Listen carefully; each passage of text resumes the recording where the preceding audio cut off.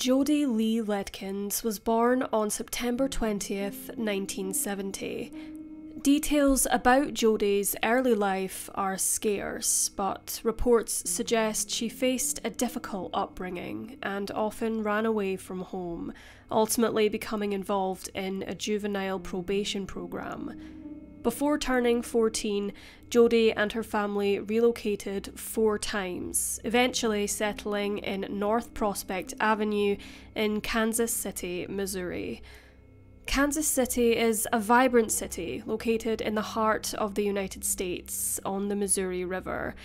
Kansas City is famous for its jazz heritage, barbecue cuisine, and distinctive blend of Midwest charm and metropolitan flair. The city is home to numerous cultural institutions, such as the Nelson Atkins Museum of Art, the American Jazz Museum, and the National World War I Museum and Memorial.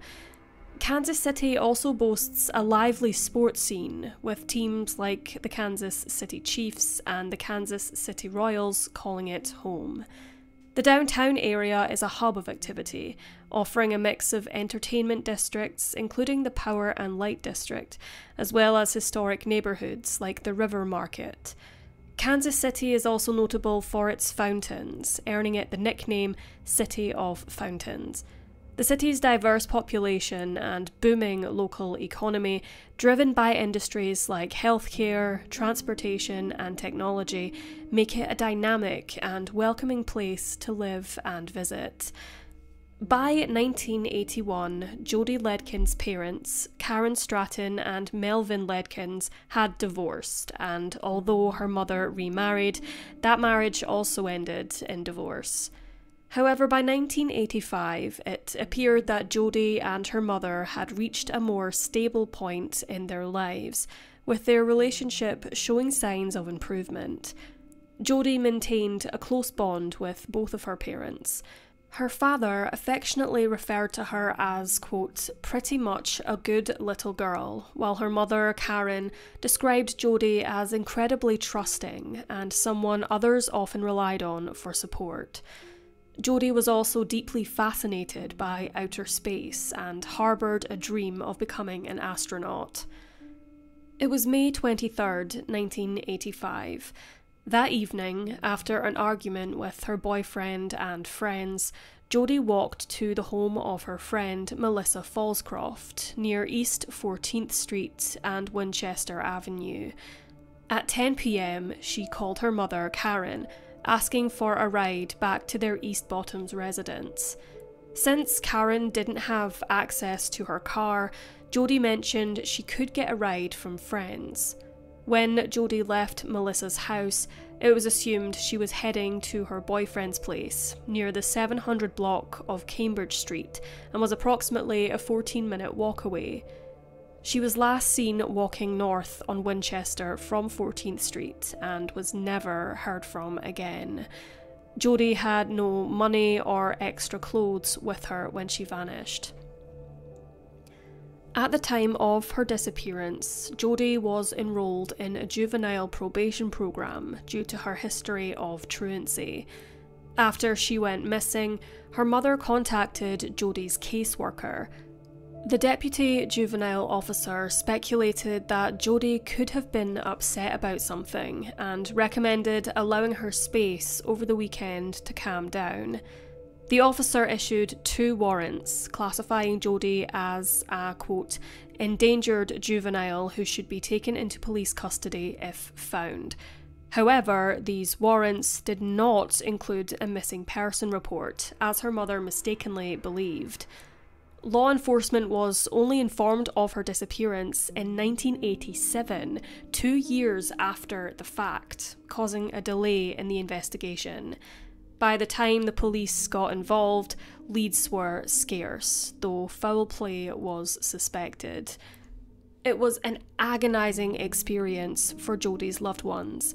Karen hung flyers around Kansas City and personally sought out and spoke with Jody's friends and acquaintances. However, she yielded few results in the search for her daughter.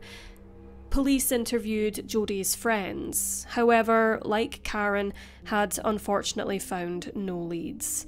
Karen stated, quote, There's no reason for her to stay hidden all this time if she's alive. In my heart, she's alive. Three years after Jody's disappearance, in 1989, Jody's juvenile officer received a letter from someone claiming to be Jody, assuring that she was safe but offering no explanation for her disappearance. When the handwriting was compared to an earlier letter Jody had written, her mother Karen was unsure if it was a true match to her daughter's handwriting. In 1993, Karen began receiving strange and menacing phone calls from someone demanding money in exchange for Jody's return. During one of these calls, the individual made a chilling statement quote, If we don't get the money, your daughter will be sent to you in pieces. Karen continued to receive calls such as this for approximately two years. Fortunately, Karen recorded all of the threatening phone calls and reported them to the police. Investigators were able to create transcripts and trace the calls to a payphone in Kansas City, but the caller's identity was never uncovered. By August of that year, Jody's case was reclassified as a probable homicide. In 1997, two prison inmates came forward claiming to have information about Jody's disappearance. Their tip led police to search the Mississippi River, suggesting that her killer had hidden her body in a car and submerged it in the river. However, the search yielded no results. Reports indicate that Karen currently resides in Arkansas, but makes periodic trips to Kansas City to continue searching for her daughter. She persists in retracing Jody's movements, driving through former neighbourhoods and reviewing all the notes she has accumulated over the years. Despite her efforts, she still finds the situation puzzling. She stated, quote, They should tell me the truth. I call it deadly secrets. When part of your heart is dead, it's never going to rejuvenate. For them to not tell the truth and keep that secret to themselves, all they did is killed a part of my heart. She mentioned that Jody's home environment in 1985 was troubled, with ongoing conflicts between her and her father, and speculates that Jody may have left intentionally she commented, quote, If I was detached and I just heard the story, I would say that little girl's gone. But no, I'm not going to say it. I hope she comes home, or at least calls me, and I know it's her. Investigators have entertained this theory as well, but believe that regardless of the reasons behind Jody's departure, there was likely an incident that put her safety at risk. Detectives have remained dedicated to the case, collaborating with the National Centre for Missing and Exploited Children to create age progressed images showing what Jody Ledkins would have looked like in 1998 at age 28 and later in 2014 at age 43. Jody's father, Melvin, has since passed away, never knowing what happened to his daughter. Karen stated to Northeast News of those who spent time with Jody on the last night she was seen, quote, These kids are old now, and they know something. It's time to finally come through with the truth. Her loved ones set up a website called Help Find Jody Lee Ledkins, which has information regarding her disappearance, photos of Jody, and a touching passage written by her mother, who concluded by stating, quote, To heal is to bring my daughter home. Why hide? Why not just heal your own soul and be what God wants us to be? His children his children who gather the peace to a better world. We are brothers and sisters from the past to the present. We need to speak and we need to bring our sister Jody home, my daughter Jody home, and we need to bring the missing home.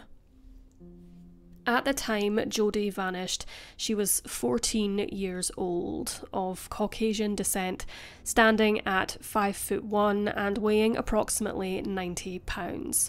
She has long, straight blonde brown hair, has blue eyes, and wears large square plastic framed glasses.